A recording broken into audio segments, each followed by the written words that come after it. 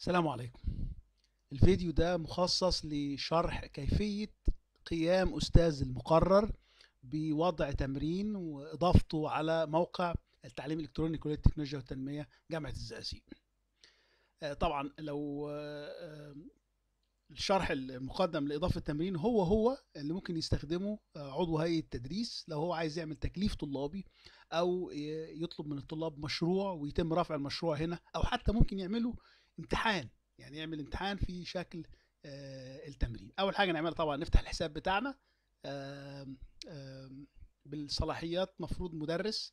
فلو جيت آه، آه، لما تخش ناحية الشمال في my courses لو وعايز تحط تمرين فتحت مثلا المقرر ده اللي هو موجود عندك حطولك المشرف بتاع الموقع. بصيت لقيت إن ده ما فيهوش هنا الزرار بتاع turn editing on ده معناه إن إيه؟ أنت مالكش صلاحيات مدرس ما تقدرش تحط تمارين هنا. ندور على مقرر تاني وليكن مثلا إدارة التغيير هنلاقي هنا إيه؟ turn editing on يبقى العلامة المهمة لإن حضرتك لك صلاحيات وضع تمارين وامتحانات في المقرر الزرار ده اللي هو turn editing على فكرة هو بيتكرر تحت تاني هنا turn editing on أي واحد منهم بيأدي الغرض.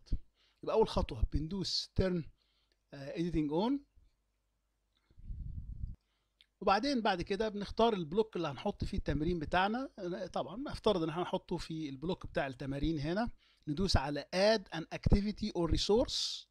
ال link ده اللي موجود في ال block بتاع التمارين. لو دوسنا هنا هيطلع لنا window صغيرة بتجيب لي كل ال- الإمكانيات اللي موجودة في البرنامج واللي أقدر أستخدمها في وضع آه، عمليات تعليمية. activities أنشطة أو موارد. أول حاجة موجودة هي التمارين اللي هي ال assignment فحضرتك هتدوس عليها اللي هي ال icon بتاعتها عبارة عن إيد وماسكة ورقة صغيرة كده. حضرتك تختارها آه، وتدوس add هيظهر لك ال dialogue بتاع وضع التمارين. هو add a new assignment to تمارين لازم أول حاجة تديله آه، اسم هنا. افترض إن أنت عايز تسميه تمرين خمسة زي ما أنا كتبت هنا. تاني حاجة هنا نحط ال description. ال description هنا ده هيبقى رأس التمرين فالمفروض إن أنت حضرتك قبل ما تبدأ وضع التمرين تكون جاهز برأس التمرين اللي هيتحط. زائد إيه المطلوب؟ زائد نمرة ثلاثة جملة في الآخر تقولها للطالب إزاي هيرفع الإجابة بتاعت التمرين. أنا طبعا قبل ما أخش على تصوير الفيديو ده وجهزت لنفسي آه، ملف كده حطيت فيه التمرين اللي أنا آه، آه، عايز أحطه. أهو التمرين أهو. التمرين رقم خمسة مثلا حالة الشركة وبعدين في الآخر كتبت المطلوب. طبعا ده ده مثال يعني أنا ما, ما, ما لحقتش أكتب مطلوب معينة. وفي الآخر كيفية رفع الإجابة على الموقع. قبل ما تعمل ال ال كتابة الكلام ده هو المفروض إن أنت كمان بتجهز نفسك بإنك أنت تعمل صورة تاخد سكرينة من التمرين. آه، الطريقة اللي تاخد بيها صورة من التمرين عن طريق إنك تروح لأداة ال snipping tool اللي موجودة في الويندوز أهي موجودة قدام حضراتنا أهي. في أداة موجودة لو دخلت في ال- البرامج بتاعت الويندوز هتلاقي في أداة من الأكسسوارز اسمها snipping tool آه شكلها شكل المقص كده تدوس عليها كده بالمنظر ده. آه، هتديك إمكانية إنك أنت إيه تاخد الحتة دي سكرينة تاخد صورة منها كده بالمنظر ده. أهي أخدتها كده. آه، بقى عندي ملف. آه، في شكل صورة. بسيفه أسيبه مثلا باسم كابتشر مثلا وأسيبه على الديسكتوب بالمنظر ده يبقى أنا كده عندي التمرين آه، موجود في ملفين ملف صورة وملف أصلي. أنا حاطه وورد مثلا على سبيل المثال. خلاص أنا مش عايز الايه ال snipping tool ده خلاص بقى file عندي.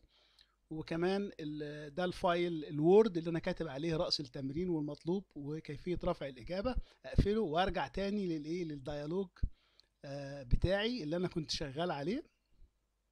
هنا كتبت هنا تمرين واحد. دلوقتي أنا عايز أحط ال description أحط فيها إيه؟ الطريقة السريعة السهلة إنك تاخد الصورة اللي حضرتك لسه عاملها تسحبها وترميها هنا. فأنا أنا الصورة أهي موجودة على سطح المكتب مسميها capture أروح واخدها كده دايس عليها وأروح راميها بالمنظر ده. إيه اللي هيحصل؟ البرنامج هيروح ساحب ال- الصورة دي وفاردها في المربع ده. أهي نفس الكلام اللي أنا قلته لحضراتكم أهي حاله شركة سوف آه، Safeway يظهر إن أنا خدت الصورة من غير ما الكلمة بتاعت آه، آم، تمرين 5 فوق. لو نزلت تحت هتلاقي المطلوب أهو مكتوب وكيفية رفع الإجابة على الموقع. أنصح حضرتك إنك تجهز الحتة دي.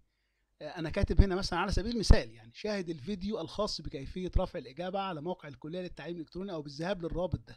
حضرتك تشوف الرابط اللي أنا سايبه اللي بيعلم الطلاب إزاي يرفع إجابة على الموقع.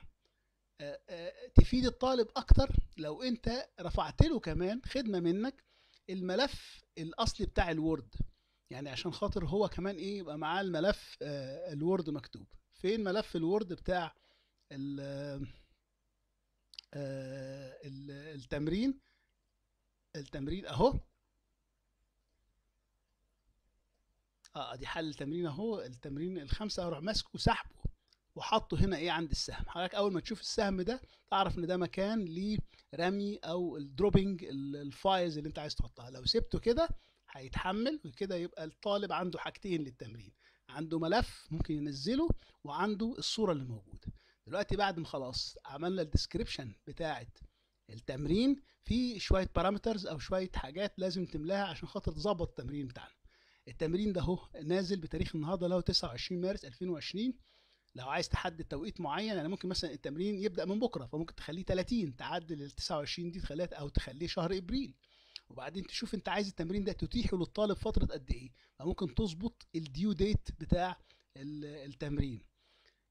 ده أول حاجة اللي هي توقيت طرح التمرين وتوقيت الديو ديت بتاعه اللي هو استلامه. طيب الطالب هيسلم الإجابة إزاي؟ في عندي أكثر من بديلين. أو ثلاث بدايل كده.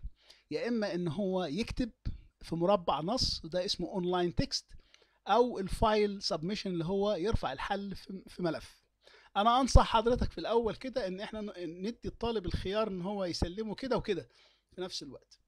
لو أنت عملت click على الاثنين ال file submission وال online text الطالب كده ممكن يسلم حله بإنه يكتبه بخط اليد. لو هو مثلا طالب ما عندوش إلا موبايل ولا حاجة فهيسلمك إيه؟ عن طريق إن هو هيكتب الحل.